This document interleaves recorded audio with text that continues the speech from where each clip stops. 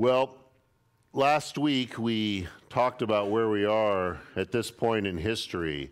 Babylonians have been conquered by the Persians. The Persians had allowed the Jews to go back to Jerusalem for the purpose of rebuilding their temple. King Cyrus gave the decree. There was opposition, though, by the surrounding peoples, especially the Samaritans, and it led to the halt of the temple project. That's kind of where we left last week in our study. Now, one thing I didn't mention last week that I do think is relevant, and because we're not studying all the way through Ezra, of course, but when they got down to Jerusalem initially, before they started to work on the temple, they built the altar the altar of sacrifice. So we told that they offered those burnt offerings and they began to do the, the regular sacrifices. You can read in chapter 3 at your own time uh, about that. And so maybe, just maybe, that's also part of the reason for the lack of urgency for the temple. Well, you know, we're able to offer the animal sacrifice on the altar. That's all that really matters. I mean, that's kind of the main thing. We're going to see it's not the main thing at all, although it's very important. So, in chapter 5, verse 1, again, we have the opposition, it ceases the project, and it's going to stop for 15 years. And then we read verse 1 of chapter 5 of Ezra. Then the prophet Haggai and Zechariah, son of Iddo, prophets, they prophesied to the Jews who were in Judah and Jerusalem in the name of the God of Israel who was over them. Now, sometimes in these historical books, like Ezra, when we see a prophet show up, we then are told what his prophecy is in the, you know, verses that follow. In this case, if you know your Bible at all, uh, Haggai and Zechariah both have their own books, don't they? Their own prophet books. And we're going to now look at Haggai. So go to chapter 1 of Haggai. It's the third to the last of the Old Testament. It goes Haggai, Zechariah, and Malachi, and that's the end of your Old Testament. You hit Matthew, you went too far. So, Haggai chapter 1 to take a look at the message. Haggai is an interesting little book. There's only two chapters in it. Uh, I think he has four distinct messages. We're only going to look at one of them. And prophesied for just a matter of months. Shows up, disappears. That's Haggai. But very important guy, especially in the context of what we're looking at. So, if you're in Haggai chapter 1, at verse 1, we have the setting. In the second year of King Darius, in the sixth month, on the first day of the month, the word of the Lord came by Haggai, the prophet, to Zerubbabel, the son of Shealtiel, governor of Judah, and to Joshua, the son of Jehozadak, the high priest. We mentioned these guys last week. We saw them. We said that we have here in these two individuals the political leader, you know, the civil leader, and the religious leader of the nation. Zerubbabel would have been in line for king if the throne still existed. But of course, it ceased uh, with the Babylonian conquest, and the time of the Gentiles began. And Yet in Jesus' genealogy in Matthew, for example, where we trace it through the kings like Solomon and so forth, you see Zerubbabel right there in that line. But he wasn't king, there was no king.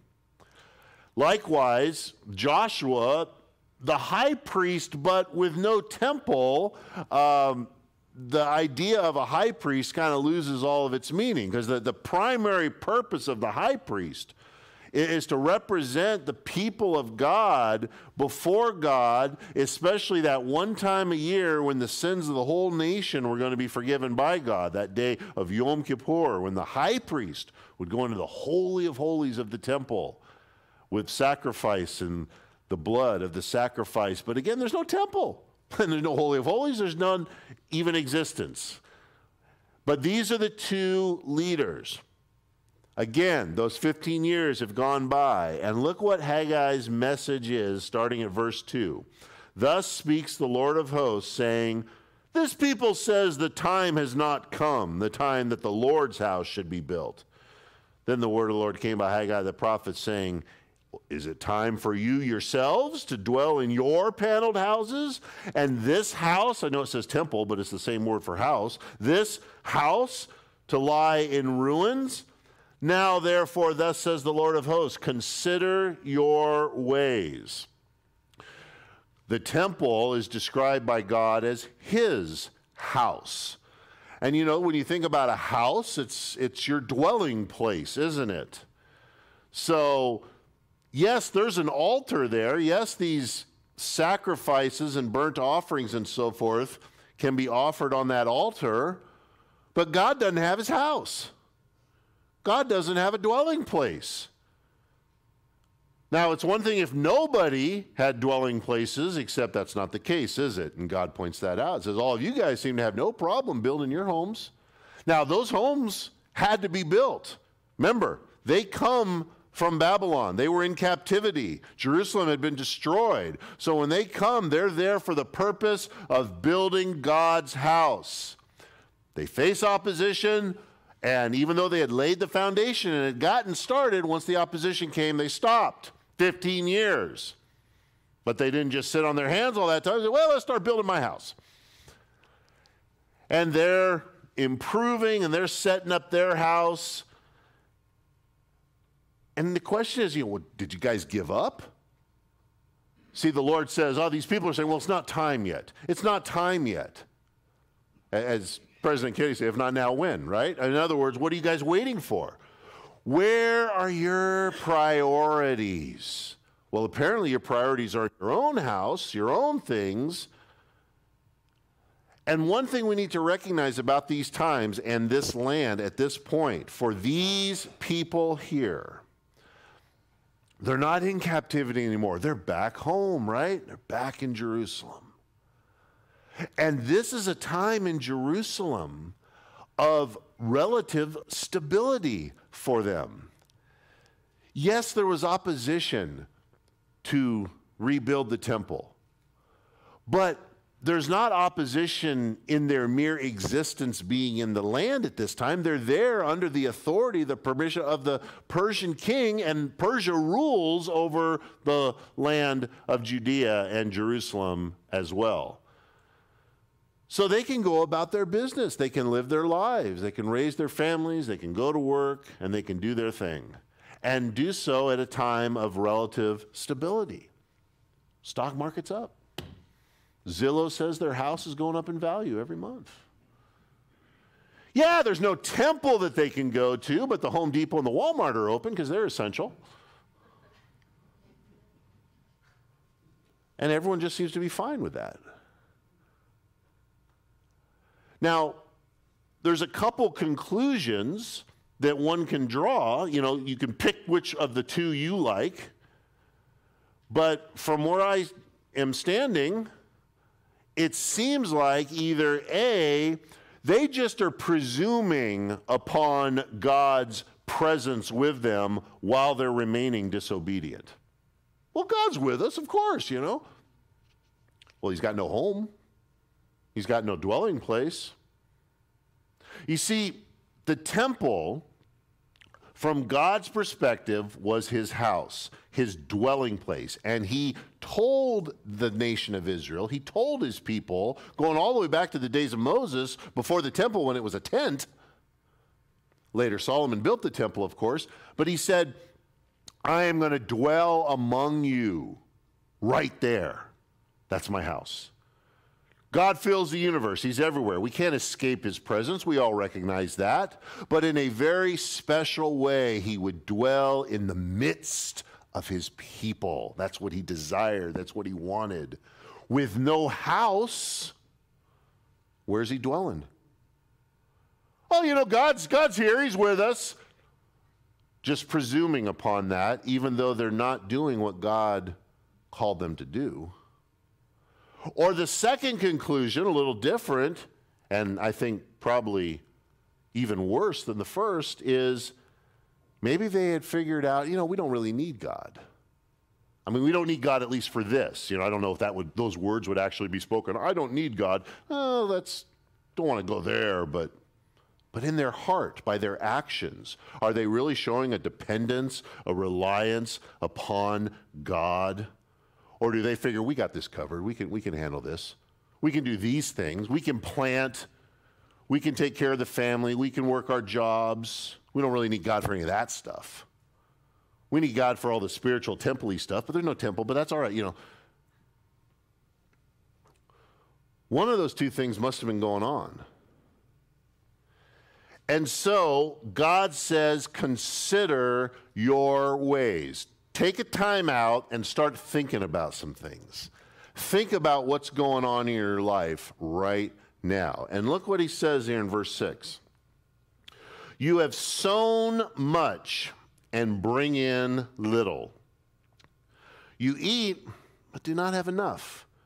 You drink, but you're not filled with drink. You clothe yourselves, but no one's warm. And he who earns wages earns wages to put it into a bag with holes. Thus says the Lord of hosts Consider your ways. Again, all of those are examples of just sort of normal daily life, aren't they? There's nothing really spiritual about those examples. And yet, God is saying this is what you're going through right now in life. Things seem to be going okay. You know, you're planting the crops, laying all that seed, but then, boy, kind of disappointing. You know, we had a little less than I thought we were going to get. Got to ration a little bit of the food and the drink around the uh, kitchen table for the kids and all. Like, well, you can you can have one plate, but we don't have enough for two. And so we're doing all right. We're not like famine. We're not you know dying over here, but but something's not quite right. We got work. Hey, I'm working. But don't you love the symbol? He who earns wages earn wages to put it into a bag with holes. And I don't think we're supposed to see that like literally. I mean, I don't think they were stupid. I mean, how long would you walk around with holes in your pants, dropping all your coinage on the ground or something, and when you go back and pick it up? But it's beautiful, I think, just a poetic statement of just that idea of, yeah, I never can get ahead. I just, you know, where does all the money go? I don't know. It's, flat tire this month, you know, that was unexpected and cost me some bucks. And then I dropped my phone, and when you know it cracked. And, uh, and just those unexpected things that just eat into the paycheck and these unexpected expenses. And frankly, I think that that expression, earns wages to put it into a bag with holes, is a beautiful expression of just inflation and higher expenses, higher costs. Again, whether that directly parallels life in Jerusalem back, you know, all these years before Christ, over 500 years before Christ, but it sure is a telling picture. You know, you, you, you make X amount of dollars, and my normal life used to cost this, now it costs this. And what's happening here? Gas, food, housing, the electric bill, on and on and on. Earn wages, yeah, but it just kind of disappears. And God's saying, hey, consider your ways. Think about this. God's trying to give a wake up call in the activities of daily life to his people. So in verse 8, he tells them what to do. He says, Go up to the mountains and bring wood and build the temple. you know, I mean, it's not like God has all of a sudden changed, and it's not like God's will is a secret, is it? How am I to live? Well, He told us, and He told them. And in this particular case, their number one priority should be to build that temple. That's the reason that they're enjoying life in Jerusalem in the first place. Lord says, Build the temple so that I may take pleasure in it and be glorified, says the Lord. Continuing on, verse 9, You looked for much, but indeed it came to little. And when you brought it home, I blew it away. Why, says the Lord of hosts? Because my house that is in ruins, while every one of you runs to his own house. And then look at this. Therefore, the heavens above you withhold the dew, and the earth withholds its fruit. For I called for a drought on the land and the mountains, on the grain and the new wine and the oil, on whatever the ground brings forth, on men and livestock, and on all the labor of your hands. Even the weather, God says, is an indictment on their priorities and their neglect of the things of God. Fascinating, isn't it? I don't want to go off on a rabbit trail, but we have a lot of talk today about the weather. Excuse me, the climate. And all the ways to fix it and all that. But have you heard anyone, let's just grant, hey, temperatures are getting warmer or whatever, more hurricanes than normal. Grant the argument has anyone ever said, well, then maybe God's upset? Maybe God's trying to give us a wake up call. If things are getting harder and harder and hotter and hotter and more difficult, maybe God is in control. Is God not in control of the weather? According to the Bible, He is. Now, I know at this point, you know, in the discussion, there's, there's that thought of like, now, wait a minute, we're talking though about Old Testament Israel. They were different. Old Testament Israel was meant to be a theocracy under God's law, and God promised in a conditional way that if you obey me, you'll be blessed, and if you disobey me, you'll be cursed. And Pastor Steve, I've heard you say many times that we don't have that same promise as Christians. In fact, if we live godly in Christ Jesus, we're promised persecution. That God doesn't promise us that we'll all be healthy and rich and all that just because we walk with Him. Now, I've heard you say that. And I have said that. And I stand by that and I affirm it completely. But that does not mean, though no nation on earth, including the United States, should ever be equated to Israel. Nevertheless, that does not conclude that God does not get involved in the nations of the earth and their affairs, including the United States. I won't have you turn there, but I'm just going to read from the Psalms. Let all the earth fear the Lord. Let all the inhabitants of the world stand in awe of him. Now, wait a minute. Doesn't say, let all Israel fear the Lord. Let all the earth fear the Lord. Let all the inhabitants of the world stand in awe of him. This is Old Testament, Psalms. For he spoke and it was done. He commanded and it stood fast. The Lord brings the counsel of the nations, I might add, wherever they're meeting today, New York City, somewhere in Europe, you know, they have their little places where they gather. The Lord brings the counsel of the nations to nothing. He makes the plans of the peoples of no effect. The counsel of the Lord stands forever.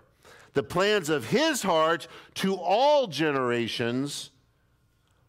Blessed is the nation whose God is the Lord. That's applicable anywhere, even if it is in the Old Testament. Blessed is the nation whose God is the Lord. Your homework today, if you choose to accept it, is to go look up, not now, later, the Thanksgiving Proclamation by Abraham Lincoln. Abraham Lincoln and proclaiming Thanksgiving and the holiday of Thanksgiving and having a special day to give thanks to God, did so in the middle of the Civil War, as many of you no doubt know. But if you read that proclamation, it's relatively short. The fascinating thing about it is this. On the one hand, he obviously admits to the Civil War. He says, yes, terrible Civil War. So many people are dying. I'm paraphrasing, of course. So many people are dying. So much money, so much expense, and all that. He said, and yet, despite the Civil War, which is a big despite, I realize, but despite the Civil War, we're blessed.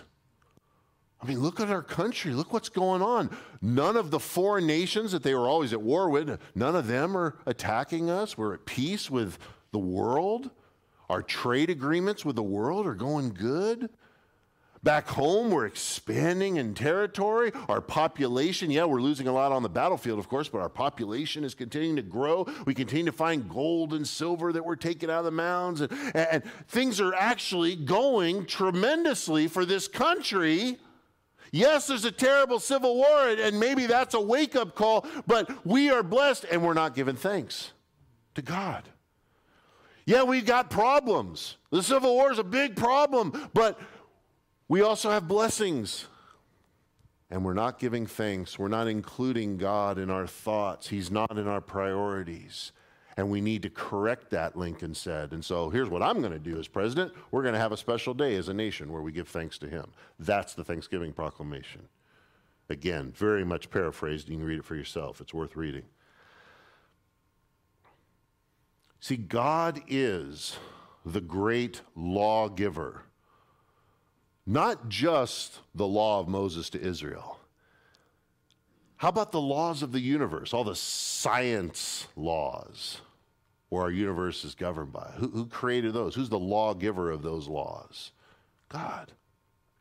What about other things that we call laws, you know, that are, you know, like the laws of supply and demand, the law of, you know, all this God has said very clearly that we are going to reap what we sow. And he's not talking about the farm crops, is he? In this, their case, they sowed a lot, but they didn't reap a lot. No, he's talking about spiritually speaking for us. If we sow to the Spirit, we will reap from the Spirit. If we put God first, if we make him the priority, how important it is. And we and it's not like again, just like with Israel and the temple, it's not like God keeps things secret. Now I recognize there might be things in our life that we don't know what God's plan is, and we're praying about it, and we're looking for wisdom, and we're waiting on the Lord and so forth. Understood. But we all know that one way of making God a priority is to read his word every day. To sow to the Spirit, to read his word every day. We know that. That should be a priority. And with only the very, very rarest of exceptions, like someone who's maybe in a hospital all day or some, you know, some really unique thing, there's no excuse not to read God's word every day. So I just didn't have time today. If you got time to go on Twitter and Facebook, if you got time to ever turn on the television, if you got time to see what the news is, then you had time to read God's word. It's that simple. It's about priorities, isn't it? And it goes back to those conclusions. Well, I don't really need God's word. I got this handled. I don't need to feed my spirit today. If you're going to do a lot of physical labor during the day, you, you probably, if you're smart, you say, you know what, I need a, a really good breakfast today because I, I got a lot of work. I'm going to burn some calories. I want to really, you know. Well, the same is true spiritually. We need to feed our, our inner being, our inner man, our inner woman. And we do so in part through God's word. And so it's like saying, ah, you know, this is going to be an easy day. I'm not going to be in any spiritual battles or warfare or anything like that, so I don't need a good breakfast here. I don't need a spiritual breakfast. And I assume that if I get in one, God loves me after all, you know, and He'll be there for me, even though I'm disobedient to what He calls me to do. One obvious example, others could be given, and I'm sure God can speak to your heart on those. But here's the thing verse 12, still in Haggai 1. Then Zerubbabel and Joshua, with all the remnant of the people, they obeyed the voice of the Lord their God and the words of Haggai the prophet as the Lord their God had sent him. And the people feared the presence of the Lord. And then Haggai, the Lord's messenger, spoke the Lord's message to the people, saying, I am with you, says the Lord. We're told in Hebrews that in times past, God spoke to the fathers through the prophets. But in these last days, these last days of Revelation, He's spoken to us through His dear Son, Jesus. We have God's complete word, His revelation to us. We don't need some prophet walking down Main Street to find out what God wants of us. He's told us right here in His Word. And He always allows for that opportunity of repentance. We can't do anything about the past. They couldn't do anything about the prior 15 years, could they? 15 years, They lay the foundation of the temple and then they kind of just put the hammers down. 15 years. Okay, those 15 years are 15 years. What about today? What about tomorrow? We can go forward from here. We were doing one thing, now I'm going to do the other. I mean, this is the essence of repentance that change of mind that shows itself in a change of behavior. And in that process, God is there. I am with you. I am with you. To do what God's people are supposed to do. And of course, what is true for us Christians is true for anyone here who doesn't know the Lord at all. And maybe has spent a lot of time in life kind of pushing aside the truth of the gospel, pushing aside the truth that Jesus loves us and died for our sins, pushing aside the truth that we are sinners and guilty before God and need a Savior. Pushing aside, I pushed aside for years. And yet, can't do anything about the past.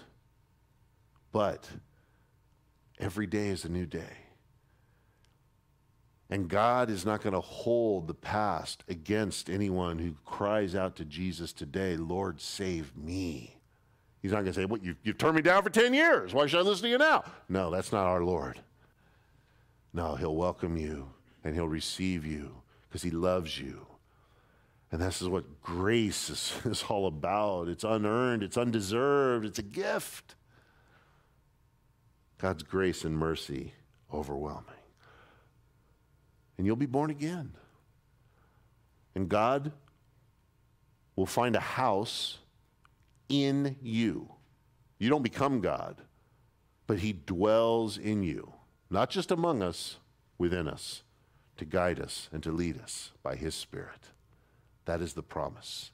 And he always keeps his promises. And for those of us who know the Lord, again, God is dwelling within us to guide us and lead us. Maybe show us if our priorities are a little off in an area or two where he would have us to be focused. Look at verse 14. So the Lord stirred up the spirit of Zerubbabel and the spirit of Joshua, and the spirit of all the remnant of the people. They came and worked on the house of the Lord of hosts, their God. Go back to Ezra chapter 5, please. Ezra chapter 5, where we began. Let's go back there and notice again that stirring up. Last week, when we looked at the decree from King Cyrus hey, Jews, you can go back to Jerusalem and build your temple we saw that God stirred up the heart of Cyrus in giving that decree. Now, once more, we see the Lord stirring up the heart of his people there to do his will. And what I said last week, and it still stands this week, is that when God is behind an action, as we see stirring up their hearts, there will be opposition. We looked at the opposition last week to Cyrus's decree when they got started. Now we got more stirring. And yes, we got more opposition. So if you're in Ezra chapter 5 again, look at verse 2. So Zerubbabel and Joshua rose up, began to build the house of God, which is in Jerusalem. The prophets of God were with them, helping them. But then, verse 3 at the same time, this guy Tatnai, governor of the region beyond the river, and Shethar Boznai and their companions, they came to them. They spoke thus to them Who's commanded you to build this temple? Here they are again. These guys showing up. But look what's different. Then accordingly we told them the names of the men who were constructing this building. But the eye of their God was upon the elders of the Jews, so that they could not make them cease until a report could go to Darius. And a written answer was returned concerning this matter. They kept working. Opposition came in. They dealt with it. Oh, you know, you need to, you know, check with the king and da, da. And they did. They wrote their letter. Hey, is it true that an order was given years ago to rebuild this temple? Remember how many years have gone by? We got a new king. Cyrus isn't the king anymore. They looked in the records. Hey, it's true. And it kind of backfires on the enemies of God because the response they get back is not only is it true, we don't want you to mess with them while they're doing the work. In fact, we want you to support them. And if anyone does cause them problem, it's going to be their head. And they're like, well, we weren't expecting that. God has a way of doing those things. But what happens if when they said, hey, what do you guys do? Oh, we're sorry, we'll go now. And had not stood strong for the Lord. Because, you know, even though there's always going to be opposition, church, a lot of that opposition is paper thin. Right? Someone's like, oh, hey, what are you doing there? We got to say, hey, we're going to keep doing it. God bless you, but we're going to do our thing because this is what God wants us to do. Well, I don't like it. And off they go. And nothing gets stopped. Instead of cowering and fearing, they didn't stop. Let's look up one more place in the Bible. Let's go to the New Testament, 1 Corinthians chapter 16. 1 Corinthians chapter 16 as we close. One of my favorite little, tiny little details. If you know anything about 1 Corinthians, you probably know there's 16 chapters. And if you know anything about Paul's letters, like this one, you know that when he gets to the end, he's usually just kind of saying, hey, greet so and so, and I'm going to be traveling next month, and you know, that kind of personal stuff to kind of end it. We usually go through it pretty quickly. That's what he's doing in this section as well. But one of the details in his personal things always fascinates me. So if you're in 1 Corinthians chapter 16, verse 8, again, he's kind of given his plans. He says, I will tarry in Ephesus until Pentecost. And then verse 9, for a great and effective door has opened to me, and there are many adversaries. I love how Paul thinks. It's so different than the way that so often we are prone to think. Again, oh, there's look at all these adversaries. I better shut down. Paul saw that the adversaries are the proof that God's at work with this open door. I must, I must have a great opportunity here because, boys, there are a bunch of people opposing me. So I'm going to stick around here and do God's work. Because look at all this opposition. If Paul was just spinning his wheels, doing a bunch of stuff that had no value unto the Lord, well, the devil say, hey, take, spend as much time doing that as you want. Because you're no threat at all to me. Says, oh, wait a minute, I don't, I don't want you there in Ephesus, Paul. Uh, you're, you're, making a change in Ephesus. Let me bring some opposition. Let me bring some adversaries. Paul says, great. This is right where I need to be. See, we need to think like Paul, don't we? Rather than just shut down, rather than just think, oh, you know, there's adversaries. I need an open door, you know, with no roadblocks, no problems. God's open doors often, if again, He's behind the work, means opposition and adversaries are there. We need to stand. But let me add this. You know, another way, let's face it, another way to describe adversary is enemy. I mean, you know, you got enemies, you got adversaries, it's kind of synonyms, right? Jesus had a few things to tell us how we're to treat our enemies and how we're to respond. So we need to recognize that there's a right way and a wrong way, meaning there's a biblical way and an unbiblical way to deal with opposition, to deal with adversaries beyond the scope of this message. But we're going to be looking in the weeks to come. Next week, we're going to look in the book of Esther. See some opposition there, certainly. And then the following week, we're going to begin a lengthier study through the book of Nehemiah, where once more we'll see God's people at work, taking a stand for Him despite the world's challenges and opposition. So hopefully you'll be a part of that. Let's pray. Lord, thank you for this time we've had in your word and for the lessons that we can learn from the on again, off again nature of building the temple, your house, Lord. And we know, Lord, that now you dwell within your people, that we are the temple of the living God.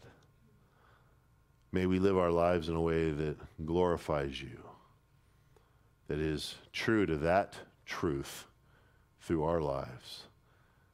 May you bless your people, I pray. Help us this week. I humbly ask in Jesus' name. Amen.